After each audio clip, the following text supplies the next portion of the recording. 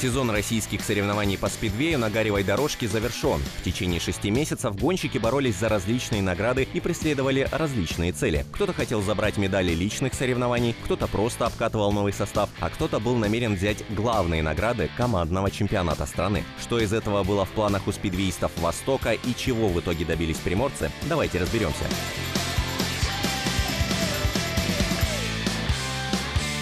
Отечественные соревнования в этом году стартовали в мае месяце. Тогда началось первенство России среди юниоров и командный чемпионат страны, который считается по праву главным состязанием года. В целом календарь не преподнес сюрпризов, зато они оказались в списке команд-участников. Дело в том, что последние несколько лет подряд активное участие в состязаниях принимают лишь три команды – Мегалада из Тольятти, Турбина из Балакова и наши ребята из клуба «Восток». Но в этом году к ним присоединился новичок, правда только по статусу, а не по опыту. Это команда «Октябрьский» одноименного города. В свое время, а именно с 1970 по 92 годы, коллектив был одним из сильнейших в СССР. В России Октябрьский тоже преуспел. В копилке три золота командного чемпионата. Но, увы, команда ближе к 2008 году стала терять финансирование и сталкиваться с риском расформирования. С 2014 года спортсмены уже не принимали участие в чемпионате. Несколько лет клуб выживал только за счет энтузиастов. Однако уже в 2017-м Октябрьский более-менее укрепился по всем параметрам и вновь вернулся на гаревую дорожку. Таким образом, в высшей лиге этого сезона за медали боролись четыре команды, каждая из которых была нацелена на победу.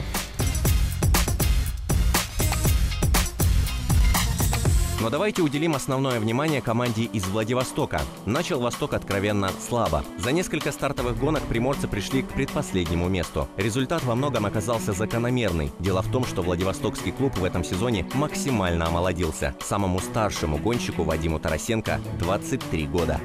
Ну, состав у нас молодой, многие ездят не так давно. Это также я, Павел Лагута, Виталий Котляр, Кирилл Хван. Занимаются не так много. Ну ничего, мы стараемся.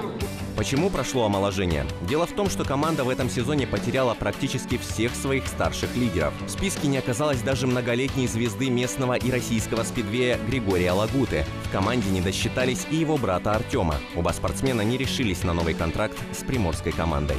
По окончании чемпионата 2016 года я сделал предложение Артему и Григорию на тех же финансовых условиях представлять наш клуб в будущем сезоне. Они их не устроили, хотя другие члены команды могли бы только мечтать о таком.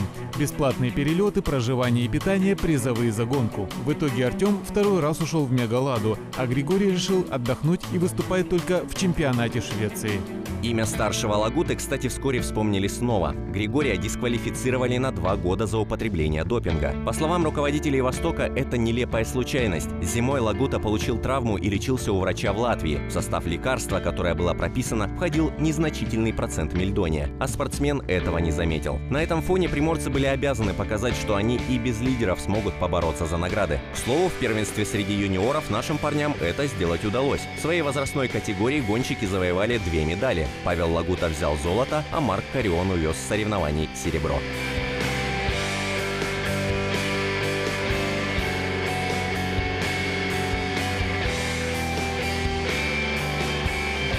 Что касается главного командного чемпионата, то здесь, увы, опыт сделал свое дело. Восток из шести гонок чемпионата выиграл только две. Такой результат позволял команде бороться лишь за третье место, а на бронзовые медали надеялся и тот самый новичок Октябрьский. Решить, кто же больше достоин пьедестала, пришлось в серии из двух гонок. Первая встреча прошла в Октябрьском и завершилась поражением Востока 42-48. Поэтому во Владивостоке подопечным Игоря Столярова необходимо было побеждать с разницей более чем в 6 очков. Отставание приличное личное, поэтому каждый спидвист выкладывался на полную. Домашние гонки в этот раз у нас встречали как никогда громко и с любовью. По-другому никак молодежи нужно было показать, что за ними стоят сотни болельщиков.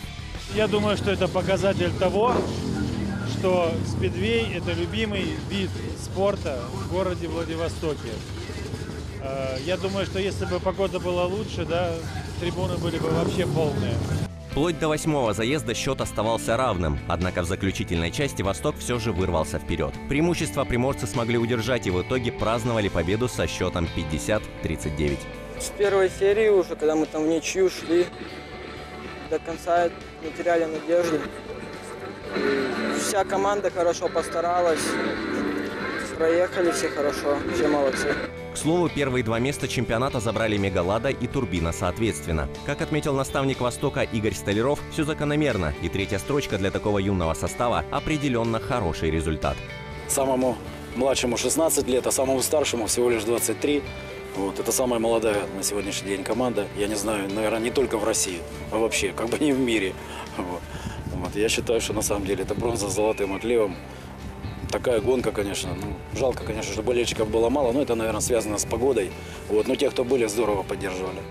После командного чемпионата взять награды можно было также на Кубке России среди пар. Но там, как отметили сами приморцы, команда не рассчитывала на медали. В итоге так и получилось. Восток оказался на пятом месте. Больше, увы, клуб из Владивостока в этом сезоне ничем не отличился. Хотя для многих фанатов Спидвея этот год стал довольно значимым. А все потому, что Восток отметил юбилей. 50-летие команда хоть и встретила не с лучшими результатами, однако с большими надеждами. Этому виду спорта в городе давно пора перезагрузиться. Новая трасса, новые люди, новые финансовые финансовые вложения. Именно этими вопросами теперь будет заниматься клуб при поддержке городской администрации. С вами был Максим Яковлев и программа «Вокруг спорта» на восьмом.